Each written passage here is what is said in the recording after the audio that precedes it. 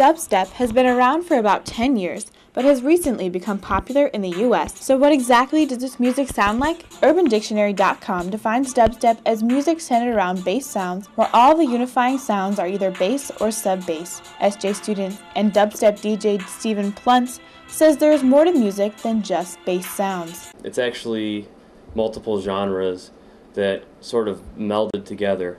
Dubstep and drum and bass has a, a broken beat whereas trance and techno, house, hardstyle, they all have what's called four to the floor. Other genres include UK garage, two-step, and half-step. Pluntz also explained that there are fine lines between these different genres that not a lot of people recognize. Dubstep fans and spinners can be compared to Grateful Dead fans. In fact, they are very loyal and have a strange obsession for the music. I enjoy spinning it because it's like being part of a family. It just feels amazing when like 10 people walk up to you and like, "Oh my gosh, that was wonderful. You know, you did so mm-hmm. good."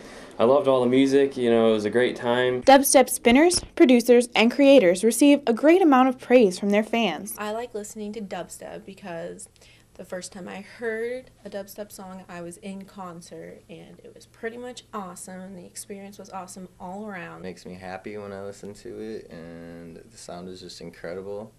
I get super, super happy and that's why I like dubstep.